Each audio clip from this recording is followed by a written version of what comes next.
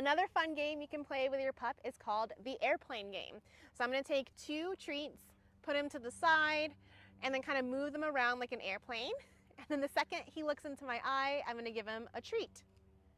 And then mark and reward it. So he's not looking at me because he's really distracted. I'm gonna wait it out, be patient.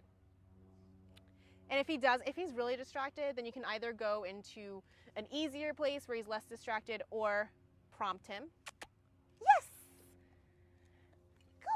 And I'm using yes as my marker instead of the clicker because the clicker is on my wrist and my hands are occupied. Yes! Good boy!